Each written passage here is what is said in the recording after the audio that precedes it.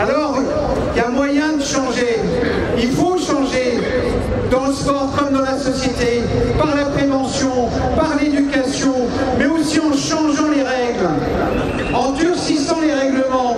Savez-vous que dans les fédérations sportives, le racisme et l'homophobie ne sont pas toujours condamnés de la même façon?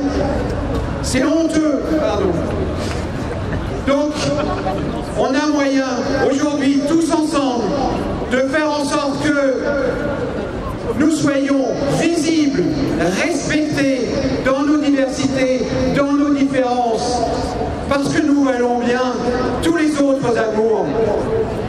Et cette société dans laquelle nous voulons vivre, c'est une société dans laquelle la violence n'a pas de place.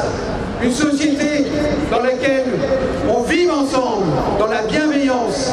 Et c'est ça le message que l'on veut passer.